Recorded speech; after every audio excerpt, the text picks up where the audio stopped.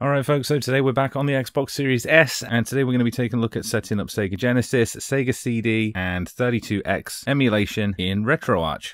Now in order to do this, you will need to have your Xbox set up in developer mode, and if you've not already done that, you can check out this video here, which will walk you through all of the steps to get that set up. And you'll also need to have RetroArch installed, and again, you can check out this video here, which will walk you through all of the steps to get that installed and set up too. Once you're done with that, there's just a couple of things we'll need to do on the computer. So we'll head over to the PC and get started. So if you are looking to play Sega CD games, we are going to have to add some BIOS files to your RetroArch installation. So to do that, we're going to head to our Xbox file share, click on the Windows Apps folder, click on our RetroArch installation, click on the System folder, and right in the System folder is where we're going to drag and drop our BIOS files, and you can see those on the left of my desktop there.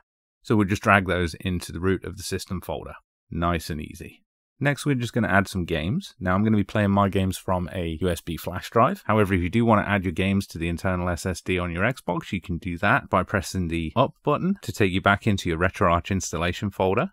Click on the games folder, and in the games folder, you can add separate folders for each of the system's games, just like we're going to do in just a couple of seconds on my flash drive. So if you are planning to run your games from a flash drive, what you need to do is open up the flash drive. Then in here, I already have a subfolder named games. And if you want to create one of those yourself, you can. But I'm going to go into the games folder. And then I'm going to create a couple of new folders, one for each of the systems. So to do that, we just need to right click, click new, click folder, and then just name them for each of the different systems. So I'm going to create a Genesis, 32X, and Sega CD folder. And you can also create new folders by clicking the new folder button at the top of the window. Once you've got all your folders created, all we need to do is copy the relevant games over to each of the folders. And if you are using some Sega CD games, you'll notice that each one's in its own individual folder. That's because those files typically come in bin and cue format, which is a multi-file format.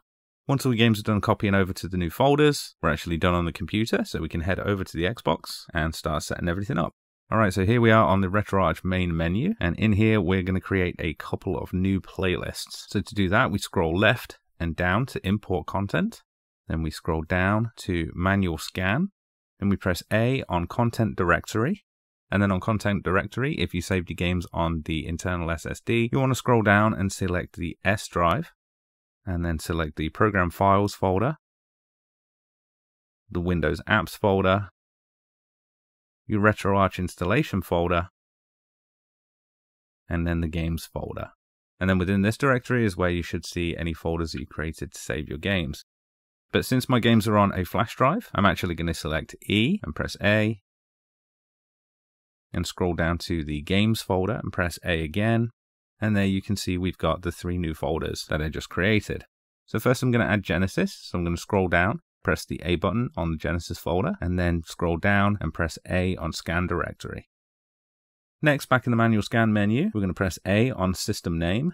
Then we're going to scroll up until we see Sega Mega Drive Genesis and press A. Then we're going to scroll down to Default Core and press A.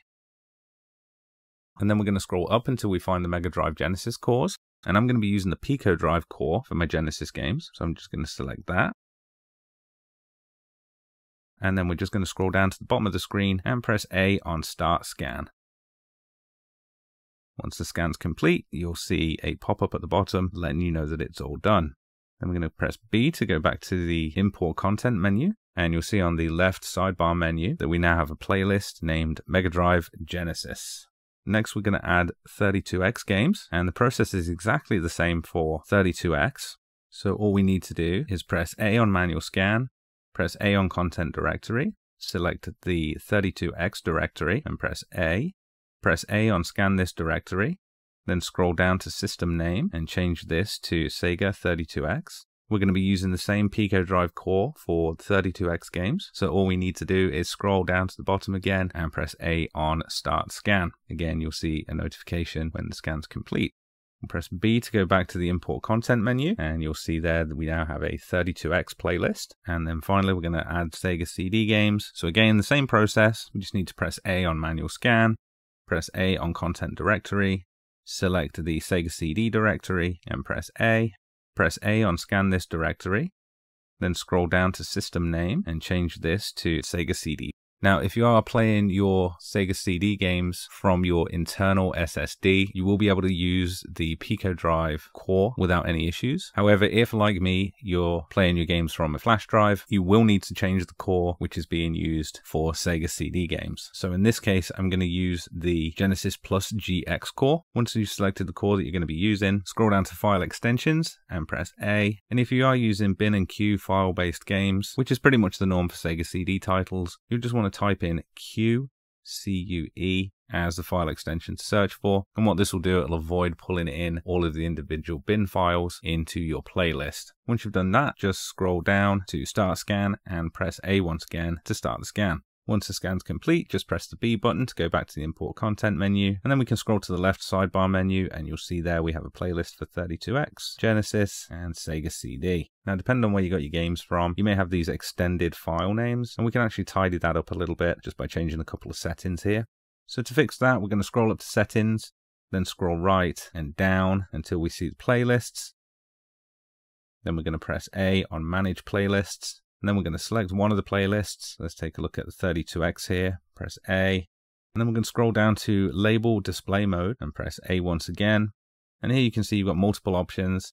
But I'm just going to select remove parentheses and brackets and that should clean up our game titles. So we'll repeat the process a couple of times on the Genesis and Sega CD playlists, and then we can go check that those changes have been made by pressing the B button to go back and just scroll through our playlists.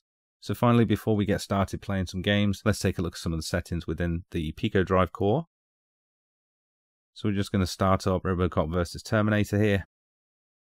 Excellent. And then we're going to access our quick menu.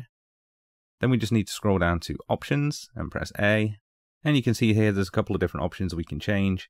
First one is input device. Obviously you can select here from a three button or a six button controller. I'm just going to leave both mine set to six button pads. Next, we've got no sprite limit. This one's a bit of a personal preference. I'm going to leave it turned off for now. Next is Mega CD RAM cart. Now, like I said, I'm going to be using the Genesis Plus GX core for my Sega CD games. So this one doesn't really matter to me, but I'm going to leave this one turned on. If you are using the Pico Drive core to play your Sega CD games, obviously you can choose to turn this one on or off. We're going to leave the region set to auto. The core provided aspect ratio as par. Show overscan I'm going to leave turned off. I'm going to leave 68K overclock off as well. Dynamic recompilers I'm going to leave turned on. Audio filter I'm going to leave turned off, but this one can improve the audio quality for some games. Low pass filter percent I'm going to leave at 60%, but you can modify this one as you wish. Frame skip I'm going to leave turned off. Frame skip threshold percentage I'm going to leave that at 33%, which is the default. Renderer I'm going to leave as accurate. And the sound quality I'm going to leave at 44100. So now we've gone through all of our settings, we'll just press the B button to go back to the quick menu, and then we're going to scroll down to shaders and press A. And this one's personal preference, but if you do like to add shaders to make the emulator look as if it's running on an old CRT, this is where you would do it. So all you'd need to do is scroll down to shaders underscore slang, then scroll down to the CRT folder, press A, and then within here, there's a number of CRT shaders that you can apply. Each one looks slightly different, so just play around with these until you find one that you like. And to apply the shader, all you would need to do is press the A button. Once you're done with the shaders, just press the B button to go back to the quick menu. B once again to get back to the home menu. And then we're just going to do a quick reset by scrolling up to main menu scroll right and down to quit RetroArch. And then when we get back to the main developer home screen, we're just going to boot RetroArch back up. So once you're back in RetroArch, you're actually ready to play your games. So all you need to do is scroll to the left sidebar menu, select the playlist for the system that you want to play, and then just scroll right and press A on the game itself, and then A once again to run. And there we go. So that's a quick setup guide on how to play Genesis, Sega CD and 32X games on RetroArch on the Xbox Series S and X. I hope you've enjoyed the video. If you have, please drop us a like and also consider subscribing. It's really helping the channel grow. And also, don't forget to check us out on Twitter. Thanks for watching.